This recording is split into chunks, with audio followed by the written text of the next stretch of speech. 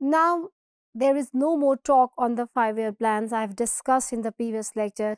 Uh, the Pakistan के पाँच साल प्लान जो पाकिस्तान बनने के कुछ साल बाद ही शुरू हुए और तकरीबन 98 तक वो प्रोग्राम से थे वो बनते चले गए उसके बाद बड़ी बड़ी तब्दीली आई कॉन्स्टिट्यूशनल अमेंडमेंट्स भी हमें देखने में मिली और हुकूमतें भी हमें चेंज होती हुई मिली तो अगर हम डेटेड टाइम लाइन में ही अगर हम चले जाएँ और हम देखें फ्रॉम 2002 पाकिस्तान 2002 से अगर देखें हम तो पाकिस्तान की जो करंट आज की जो आप, आ, आपकी पॉलिसी है फैमिली प्लानिंग पॉलिसी ये रिफ्लेक्ट करती है government concern over the rising population trends and poverty. ना government has clearly realize because हमारी पॉपुलेशन इतनी ज़्यादा इजाफा है realization among the government is very much visible. हमारे जो पॉलिसी गोल्स हैं अब वो इंक्लूड करते हैं that we have to reduce अगर हम आज की डेट में बात करें we have to reduce population growth from 2.1 percent 2002 से to 1.3 by 2020 and reducing fertility through voluntary family planning from 4 birth per person in 2004 to 2.1 birth per woman by 2020 and as a signatory क्योंकि पाकिस्तान एक signatory है Pakistan has signed so many um, uh, uh, international convention so we are a signatory at, to the program of the action developed at the a very significant conference जो overall देखिए population it's not only the issue of Pakistan it has always been an international issue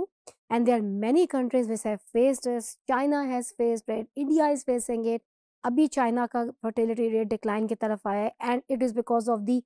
very effective government policies तो 1994 में एक बड़ी ज़बरदस्त conference हुई थी जिसमें एक जिसे कहते हैं ना, आलमी सतह पर, जो है बड़ी ज़बरदस्त रियलाइजेशन हुई थी रिगार्डिंग दी पॉपुलेशन की जो इफ़ेक्ट्स हैं, जिसमें इन्वायरमेंट पे भी बात की गई, इसको पॉवर्टी के साथ जोड़ा गया मिटर्नल हेल्थ पे बात हुई इन्फेंट मोटेलिटी पे बात हुई तो पाकिस्तान उसका भी सिग्नेचरी था और उसके गोल्स को भी पाकिस्तान ने आगे मद्देनज़र रखा और उसके मुताबिक मुल्क में काम हुआ।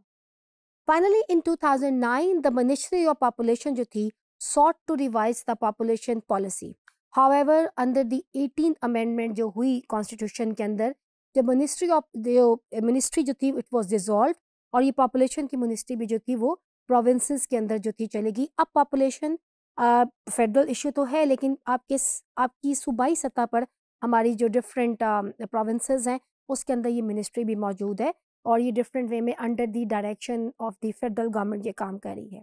In 2013 some of the provinces खास तौर पे Punjab they reported that they were developing their own population policies और क्योंकि पंजाब एक बड़ा सूबा है पंजाब की पॉपुलेशन भी जो है वो बड़ी ज़्यादा है तो पंजाब ने अपनी पॉलिसीज़ भी डिवाइस की और इसके ऊपर काम जो करना शुरू किया और, और दूसरे प्रोविंसेस ने भी काम शुरू किया।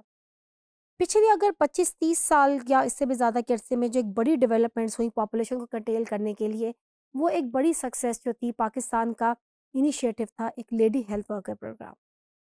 dear students ये एक इंतहाई सक्सेसफुल सक्सेस स्टोरी है स्टेट ऑफ़ पाकिस्तान की, जिसमें इन्वॉल्व किया गया ख़वातीन को कम्युनिटी लेवल पे जाके, जिन्होंने पॉपुलेशन के लिए फैमिली प्लानिंग मेथड्स की, को स्प्रेड करने के लिए मिटरनल हेल्थ के लिए, बच्चों की हेल्थ के लिए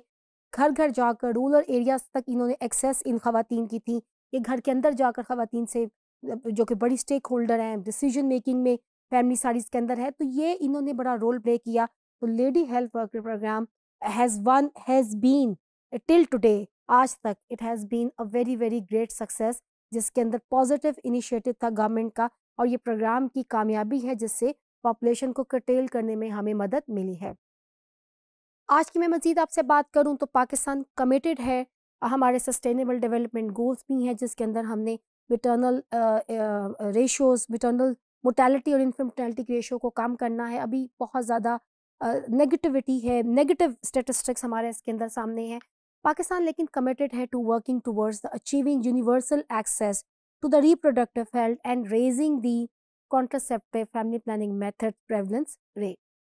to 55 percent by 2020 at least हमने 55 परसेंट दो हज़ार बीस तक कहा था कि इसको अचीव करना है। हावेवर अभी जो लेटेस्ट अगर आप वेबसाइट पे जाकर देखें पॉपुलेशन प्लानिंग की तो डेटा लेटेस्ट रिसर्चेस हमें नज़र आती हैं कि ये हम अभी तक अचीव हम नहीं कर सके हैं। However Pakistan will take forward जो उसकी 2011 की स्पेशल कमिटमेंट्स थी with the provinces for all public and private health facilities के वो ऑफ़र करेगा बर्थ स्पेसिंग सर्विसेज़ इसी की एक्सटेंशन में जो आपके जचा बच्चा सेंटर रूरल एरियाज़ के अंदर आपके mother and child health centres ये सब चीज़ें आगे हमें नज़र आई। बात इस ज़रूरत इस बात की है, इस अमर की है। कि जब हमारा मुल्क यहाँ पे ऑलरेडी वसाइल की कमी का शिकार है जब हम स्पेंड भी करते हैं बहुत से एरियाज़ में हम ऐसे हेल्थ सेंटर्स बनाते हैं आ, हम गाँव के लोगों को रूरल एरियाज़ के लोगों को एक्सेस देते हैं लेडी हेल्थ वर्कर को हम पे करते हैं लेकिन आवाम में जब तक एक मुकम्मल शूर उजागर नहीं होगा और ख़ास तौर पर रिलीजियस मिस इंटरप्रटेशन को हम कम नहीं करेंगे पाकिस्तान की fertility rate as per if you compare it with the international standard it is still very high that is why there are fears के पाकिस्तान की आबादी बढ़ती रहेगी और हमारे लिए एक बहुत बड़ी जो ट्रबल है वो हम उसका सामना कर सकते हैं।